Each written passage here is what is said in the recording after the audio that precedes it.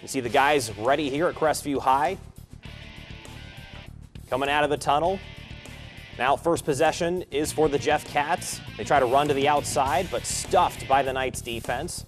Very next play, rolling to his right, finds the receiver, caught for a positive gain. That's a first down.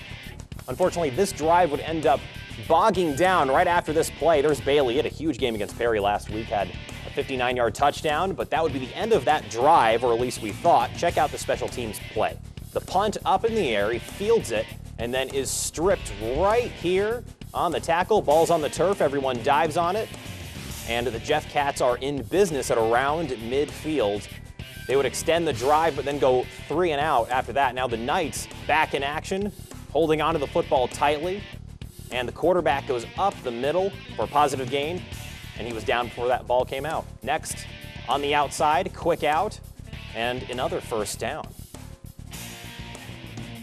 Next, it's the big man taking the snap and up the middle out of the Wildcat for the touchdown. Great crowd at Crestview. If you look at our final score, Crestview taking care of business 48 to 6 at home.